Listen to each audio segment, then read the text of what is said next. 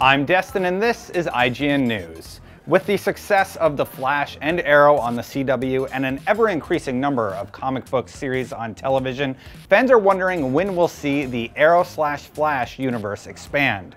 Soon enough, it seems. At the Television Critics Association press tour, CW President Mark Pedowitz revealed that they were in very early talks to do an additional spin-off series. IGN had the opportunity to sit down with Brandon Routh about his Arrow character Ray Palmer slash Atom, where we asked if he thought they may be leading towards a spin-off featuring his character.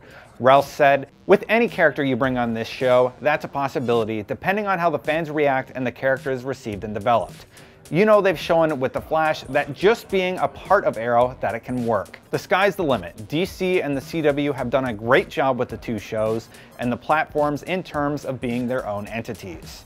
What the future holds, who knows, but anything is a possibility. During the Flash slash Arrow panel, executive producer Greg Berlanti was asked if an Atom spinoff was something he was actively pursuing, to which he said, we're in very early talks in a very general way that we haven't gone deeper on yet. Routh added that he was initially hesitant to return to play another comic book hero after playing what was to him the pinnacle of superheroes, Superman in 2006's Superman Returns. The actor was a big fan of Arrow, however, and has had an amazing experience on the show.